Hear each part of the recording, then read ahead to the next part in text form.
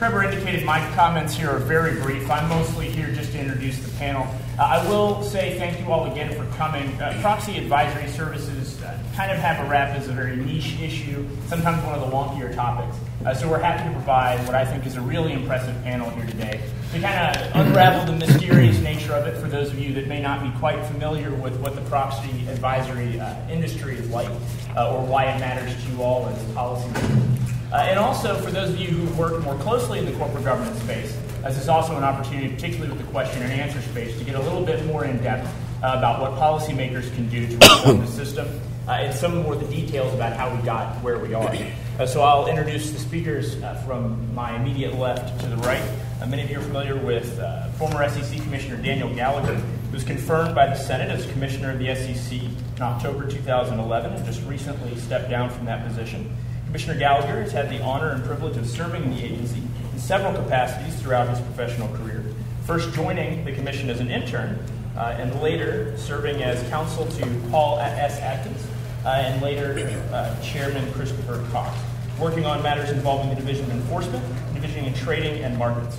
Commissioner Gallagher earned his JD magna cum laude from the Catholic University of America uh, and also graduated Georgetown University uh, with a degree in English. Uh, next, James Glassman uh, is, served between 2007 and 2009 as the U.S. Undersecretary of State for Public Diplomacy and Affairs as chairman of the Broadcasting Board of Governors. In April 2012, he was appointed to the Investor Advisory Committee of the U.S. Securities Exchange Commission. And he has a long career as a journalist and publisher, serving as president of the Atlantic Monthly, publisher of the New Republic, executive vice president of U.S. News and World Report, editor and co owner of Roll Call, and moderator of two weekly public affairs television programs on CBS and one on CNN. And J.W. Verret, on the far left, is a senior scholar at the Mercatus Center at George Mason University. From May 2013 through April 2015, many of you may have worked with J.W. as he was the chief economist here at the House Financial Services Committee. As a member of the Mercatus Center's Financial Markets Working Group, J.W. regularly briefs congressional staff, members of Congress, SEC commissioners, and other financial regulatory agencies on financial regulations topics. An assistant professor of law at George Mason University School of Law. His primary research interests are corporate governance, securities regulation, and executive compensation. Uh, all three of these gentlemen have much longer bios. I've given you the abridged version, uh, but we're happy to provide more information on all of their backgrounds as well as some of the work that they've done in this field uh, if any issues come up. So with that, I'll turn the presentation over to our panelists. They will each give a uh, brief prepared remarks section, uh, by, after which I'll come back to the podium and we'll have a moderated Q&A session. So be thinking as they go through their comments what you're interested in, what you'd like to hear more about. Uh, and then when I return to the podium, be prepared with some of those questions. Uh, and I'll have some for the panelists as well. With that. Well, thanks. Um, I'm going to start. And... Um, I just want to thank Mercatus for the wonderful work that Mercatus does. And um, I had the privilege of, of doing two papers with uh, Mercatus scholars, with JW, and, and then with Hester Peirce, who's sitting over there and who has a further honor, which is that she's been nominated as a commissioner on the SEC. So that's why she's being very quiet right now. Um, even though I guess this is the House and not the Senate, but still, right? News travels. Um, so I, I, want to provide a little bit of background, and um, the two other the two other panelists, or who are much more expert than I am on this subject, will will uh, will give you a lot of the details. But um, you know, most Americans don't know what proxy advisory firms are. But the fact is, they have more influence on corporate governance in America than any other institution, except perhaps the SEC, and I'm not even sure about that. Dan can tell us. Um, today, enormous power over decisions about how businesses are organized, how they're run, including policies on the environment, political contributions, and executive pay, is exercised by two firms that control, by some estimates, 90% of a single important market. One of those firms, ISS, controls more than half the market. The rise of these firms is a cautionary tale about the unintended consequences of regulation. So I hope we're, we're going to be t- telling a story here that not only is directly about proxy advisors, but about regulation in general. So it started uh, innocently enough when the Republican appointed chairman of the SEC, Harvey Pitt, proposed two rules whose purpose was quite limited. Uh, he was concerned that large institutions, such as mutual funds, and I'm going to use the term mutual funds throughout, but understand there are other institutions involved here, could have conflicts of interest when it came to proxy votes. And proxy votes, of course, are voting shares that you own on the, in this case, on the behalf of the investors who are shareholders in the mutual fund itself on questions such as board membership and, and many others now. So the conflict comes when, let's say, a company like Fidelity uh, might manage the pension funds of employees of, say, General Electric. And if a vote comes up that GE's management thinks is important, then Fidelity might feel like it might want to lean toward management to keep its pension contra- uh, contract. So that's the sort of conflict of interest that Harvey Pitt was worried about. And the rule that was proposed and passed uh, required mutual funds to declare specific guidelines for voting. It was very straightforward, and it was backed by the free market members of the SEC, including Paul Atkins, Dan's old boss, and um, Cindy Glassman, who may have the same last name as I do, but is not related, although is a friend. And uh, Paul Atkins, in fact, stressed after this rule was passed that it, quote, did not impose a one size fits all requirement for written proxy voting procedures. Instead, we left advisors, that is to say the mutual funds and other institutions, with the flexibility to craft suitable procedures. Well, it didn't work out that way. The SEC's staff later interpreted the rule in such a way that led the mutual funds to assume less and not more responsibility for their votes. In effect, mutual funds outsourced their proxy decisions to ISS and another large firm, Glass Lewis, as a way of meeting the staff interpretation of the regulatory requirement. And the key document, which I think the, the other speakers will elaborate on, but I just want to just, uh, just introduce it anyway, was a, a, letter from the staff in response to a request from Egan Jones, which is a small proxy advisory firm, in May of 2004. And the staff told the firm that a mutual fund could meet its obligations by having a third party make its decisions. In essence, said the ruling, the recommendations of a third party that is, in fact, independent of the mutual fund may cleanse the vote of the advisor's conflict. And I'm sure JW will tell you much more about that. In addition, mutual funds got the clear message that they had to vote on every one of the tens of thousands, in some cases hundreds of thousands, of proxy votes that they faced each year. So, here was a simple solution for the mutual funds pay the proxy advisors to tell us how to vote. Uh, both the funds and the proxy uh, firms were free from liability, or they seem to be, for, for bad choices except in the most extreme circumstance. So it was a win win for everybody, except, of course, the companies, or issuers as they're called, and their shareholders. And I would argue also for the U.S. economy.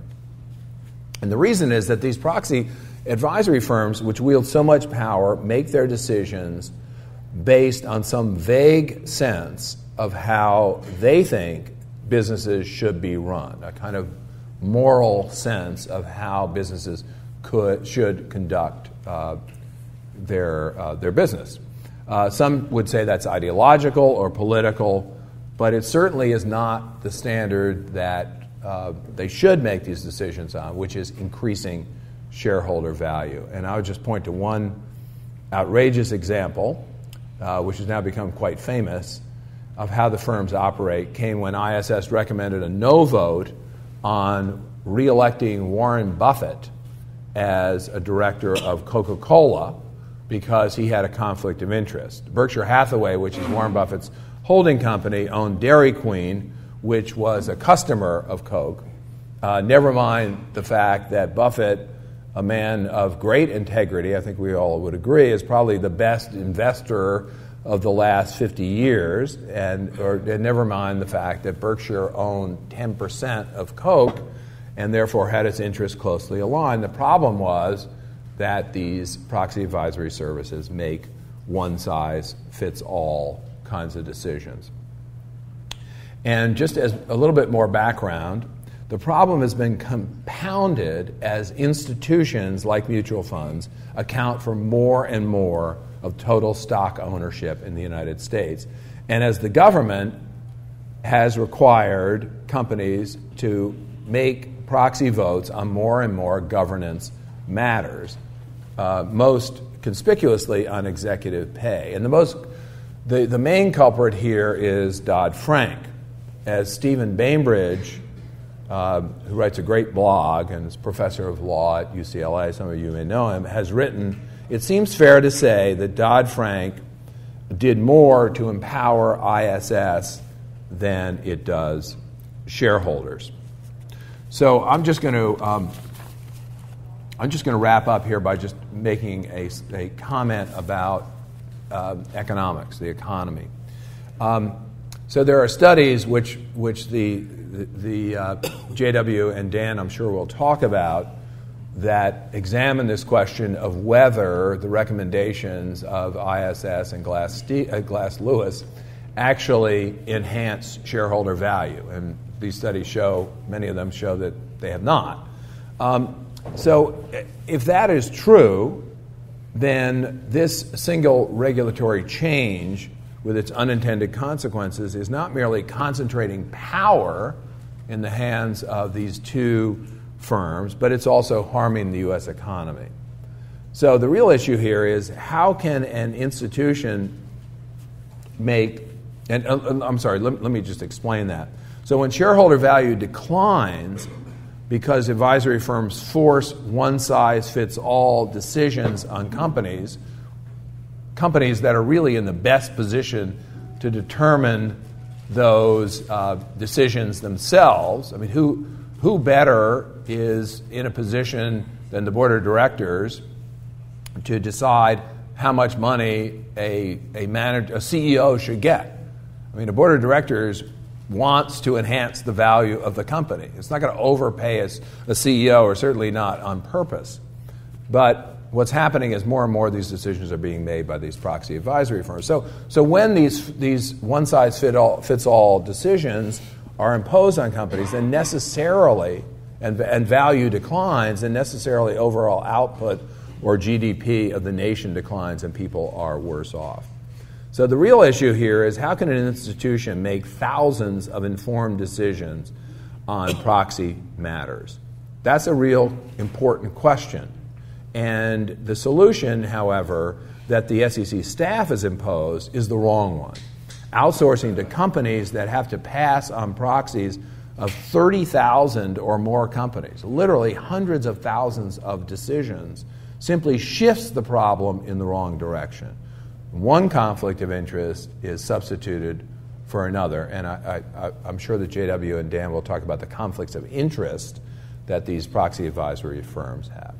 So this problem has persisted for 11 years. Um, JW and I and Hester and I have offered solutions in our papers, and I'm sure you're going and as, as has Dan Gallagher, uh, Dan Gallagher as, as a, an SEC commissioner. So you're going to now hear from, I think, JW next. Sorry, JW next. Thank you very much.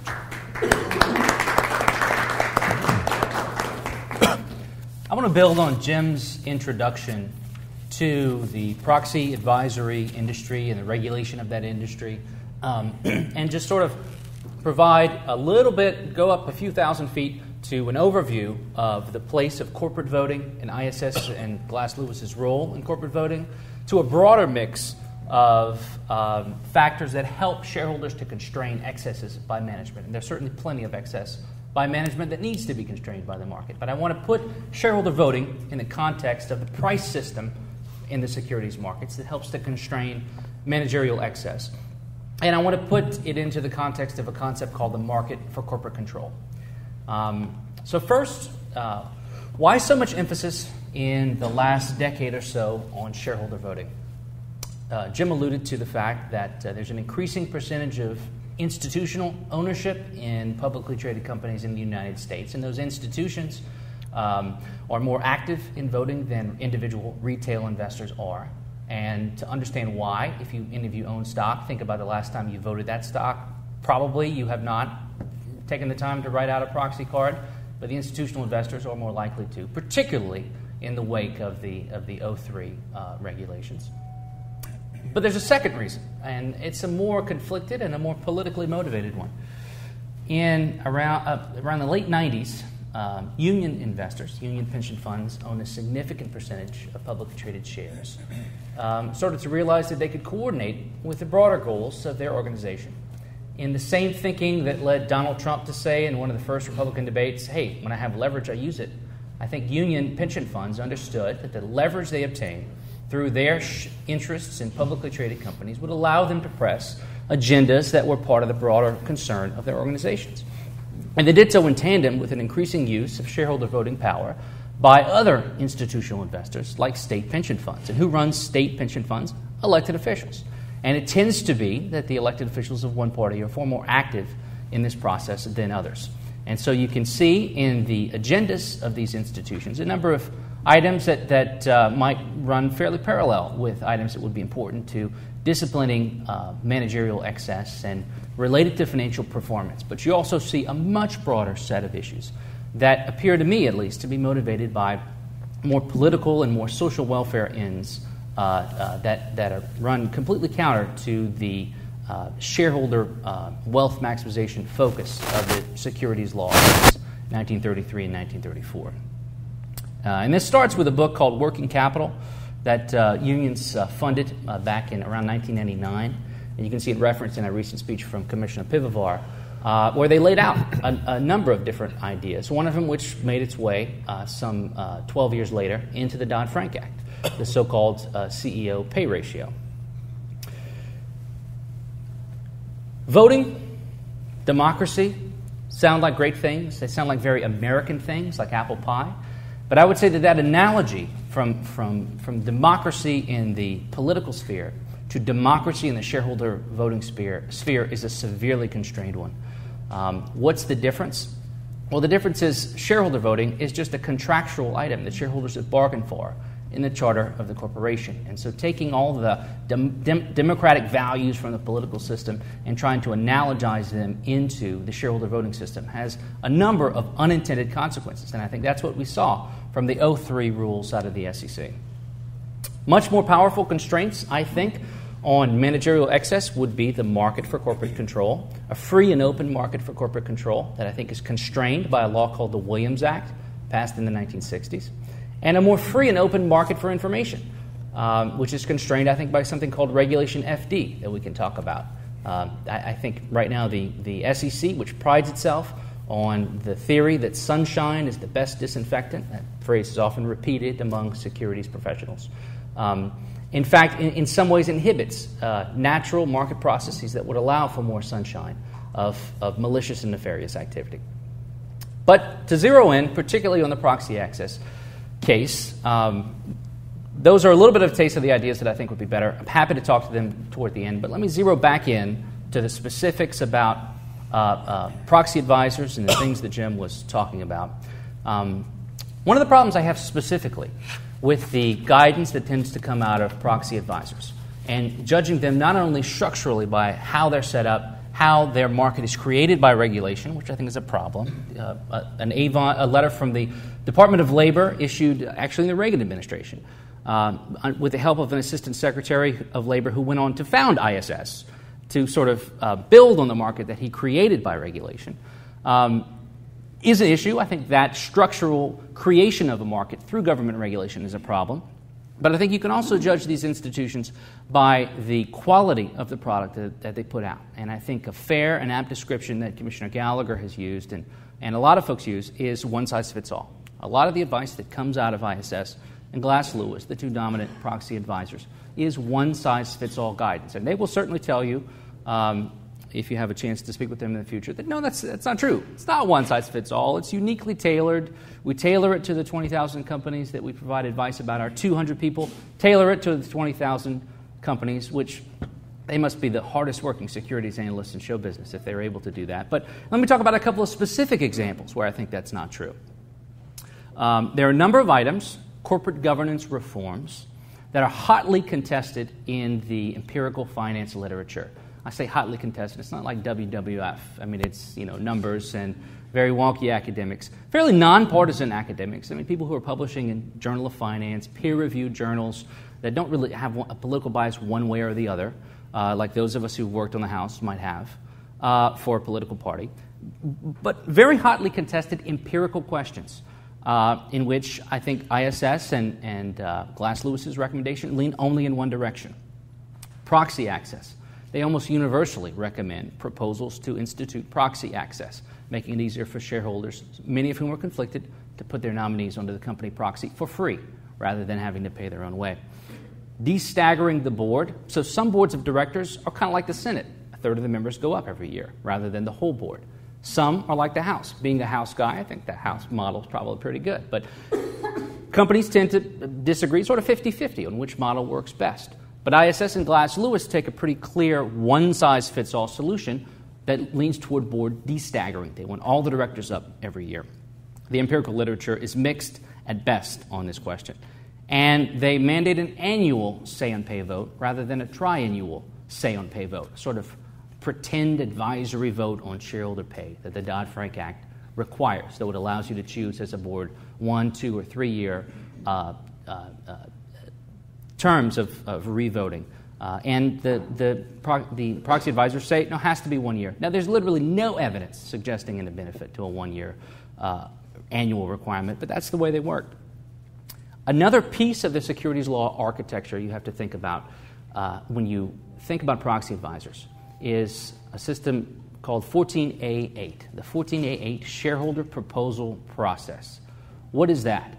Well, it's a process whereby Currently, before this rule, previously, shareholders could put an idea up for a vote of the other shareholders and say, you know what, I want to uh, change the charter of the company, I want to change the structure of the board. And they could send out the shareholder voting cards to the shareholders and they could win, but they had to pay for it themselves. 14A8 says the company should subsidize individual shareholders putting ideas onto the company proxy. And it can take a very low threshold of ownership. You only have to own about $2,000 worth of the company's shares to do this. $2,000 worth of shares, a very small percentage of the company's shares. So, what is the quality of these proposals? Well, a few of them are high quality, but I would say the overwhelming majority of them represent the kind of quality that you see in public comments on blogs on the internet. I mean, think about the worst examples of comments you've seen in blogs on the internet. That's the kind of stuff companies often get on their proxy statements. And these are things that ISS and Glass Lewis will often provide voting recommendations about. So you see a second way in which an artificial market is created by the government, an artificial market that this duopoly enjoys access to. Uh, Jim mentioned conflicts of interest. There's a very important conflict of interest in this space that I would, I would urge your consideration of. ISS, the dominant player in this space, provides advice to investors and says, vote this way, vote that way on this proposal. But they do a second line of business that actually, though it represents a small percentage of the revenue, I understand rec- represents a large percentage of their profits because it's a low expense business, which is they'll go to companies, the targets of these votes, and they'll say, We have some advice for you about what you should do to change your company structure. Uh, now, they will say, the part of our operation that advises companies about how to get a better recommendation from us is separate and apart from the part of our organization that advises investors about how they should vote in these company elections and proxy uh, contests. They say that. I'm sure they try. But the institutional investor community has been very skeptical of conflicts of interest in a lot of other areas. Auditors used to do the same thing with a lot of consulting services. And the pension funds and the organizations of institutional investors all said, no, we don't believe that they can police those conflicts. Conflicts prohibited by law in Sarbanes-Oxley. When these conflicts uh, were, became apparent with respect to investment analysts, the institutional investor community said, uh-uh, we don't trust them. We need some clear rules out of an AG settlement to police these conflicts. But here, where institutional investors and the union pension funds in that community see and recognize a clear conflict of interest, with their ally, their position is I don't really see that as a problem. I think that inconsistency um, points to, to I think, further examination of those conflicts of interest. I think they're very serious. Um, and I wouldn't be as concerned about them if the market for these services wasn't created by regulation. But the fact is that it is in the Avon letter and in the 14A8 process. So I want to talk real quick about the guidance that Commissioner Gallagher was uh, uh, uh, such an ardent um, you know, fighter for. I mean, I think when, when Jim, when, when we did our first paper on proxy advisors and the problems in that space, I would have thought it was a, you know, it was a quixotic quest. We weren't going to get anywhere I just thought, well, it'd be fun to write a paper with Jim Glassman. So, well, yeah, I'll do that. And it turned out, I mean, because of Commissioner Gallagher's work, we got guidance out of the SEC that, that took a big hit in the right direction. And so I want to commend that. I think that's terrific. Some particular things out of that guidance the SEC did, and I think the House, I want to credit the House Financial Services Committee too. Chairman Garrett did a lot of work in oversight of this issue. Um, first, the guidance says that companies can conduct sampling to make sure that, there, uh, that there's compliance with the, the pre, prior rules um, from 03. I think that's good. That certainly will lower costs for institutional investors. And sampling methodologies are well accepted uh, in you know, econometrics. There's a recognition in that guidance of the right of mutual funds to decide to just vote with management if they, unless, if they feel like there are no red flags indicating a problem. I think that was very important, and we mentioned that. Jim and I mentioned that in our papers. I'm glad that made its way into the SEC's guidance. And there's some requirements about disclosure of the conflict of interest that Jim and I were talking about. I think that's all terrific. That's all to the good. Um, concerns I have about how we just haven't gone far enough. First of all, it's staff level guidance. I'd feel a lot better if it was an SEC level, commission level interpretive release. I'd feel even better if it was statutory, but I, I, I prefer it to be at least an interpretive release at the full commission level. I'm concerned about the fact that it only applies to entities regulated by the SEC and not those regulated by the Department of Labor. I'm concerned about the fact that the Avon letter is still out there requiring um, ERISA fiduciaries to vote, even if it doesn't make sense to them for them to vote. And I'm concerned about the 14A8 process that creates this artificial market. Um, a few other concerns and ideas uh, about things we should do. Again, the Williams Act and Reg FD and 14A8 are all problems. Um, I'd like to see some specific recognition that the Egan Jones letter is no longer good law. I would, I would, I hope, would have hoped to have seen that in the guidance. It didn't make its way in there. Um, uh, let me just stop there, turn it over to Commissioner Gallagher, and uh, looking forward to talking you, to all of you in the Q&A. Uh, former, former commissioner. Former, yes. Like uh, a mental note, never follow Professor Verret uh, on the panel again. prove how ineloquent I am or how eloquent you are. I'm suffering with a little cold here, so I'm going to try to keep it short. Uh, it's a real honor, first of all, to be here. Thanks to Mercatus for inviting me. Thanks for you guys uh, showing up. This is a really, really important issue, and I wanted to pivot off the first two sets of remarks to kind of uh, figure how I would add value here. And I think the value I can add for you is to explain to you why you need to care about this issue, because it really does sound so picayune, so discreet compared to all of the other things that you have to deal with uh, in your day to day jobs and your bosses have to deal with. And I will tell you, coming into the SEC in November of 2011, right, a year or so after Dodd Frank, the last thing in the world I thought I would be focusing on, in fact, I didn't even know what a proxy advisory firm was uh, when I came back as a commissioner. So to think that I would come in and need to you know, focus so much of my attention and time and energies on this issue really was surprising to me. And let me tell you why. This is the same conversation I'll tell you about a little conversation I had with the CEO of one of the proxy advisory firms. After about three or four speeches I gave on the same subject, and most of you who read uh, or followed my speeches over my four year term know that I rarely, if ever, gave the same speech or talked about the same issue uh, twice. And uh, there are a couple exceptions, one of them being proxy advisory firms. And that prompted this CEO to ask for a meeting with me, come in, very polite, but he started the meeting by asking me, Why in the world, can I ask you, are you so intensely focused on this issue?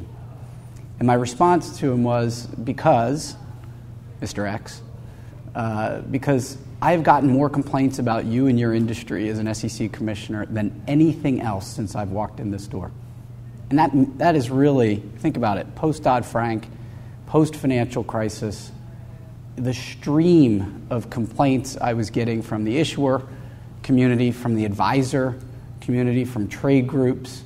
I had CEOs fly in to Washington to meet with me one on one after they saw my remarks in this space. It, it was an open and obvious issue for the commission to address. I still believe it's an open and obvious issue for you and your bosses to address. I don't believe, uh, despite some of the politics that surround uh, this issue, given some of the voting recommendations, and uh, as Professor Verret mentioned, how partisan sometimes they may seem uh, to the other party. I don't think this is a partisan issue. This is about good government. Uh, this is about a, a uh, you know, an industry that was, as Professor Verret said, created by regulation. If you go back to the, to the Avon letter of 88, which said if you advise uh, uh, on ERISA assets, you have to vote. So every vote you have to, uh, to be consistent with your fiduciary duty. That was a big deal. That was a shot heard around the world. And in 2003, when the SEC came out with the rule that's been talked about, it was a really simple rule, and I think Commissioner Atkins got it right in his remarks at the time. It, it on its face, was a free market solution. Have policies and procedures to deal with the conflicts surrounding voting. But a lot of folks in this community, especially the uh, proxy advisory firms who wanted, wanted it to be so, thought this was the SEC's version of the Avon letter. Now the SEC is mandating that you vote uh, every vote, every share, and that was actually incorrect. That was one of the main uh, issues we took on in SLB 20, which is the guidance that came out of June uh, last year from the staff that Professor Verret mentioned. And so, you know, this notion coming from Avon put into the 2003 rule that you need to vote every vote, every share was, was huge. But also within that rule text itself, putting aside the no action letters that were mentioned to ISS and Egan Jones, the rule text itself said if there is a conflict, the advisor can prove to the SEC that the vote was unconflicted by the use of an independent third party right? That magic language is actually in the rules. So when we had our own proxy advisory roundtable in December of 2013, there was a healthy amount of debate about whether the no action letters were the original sin or the rule.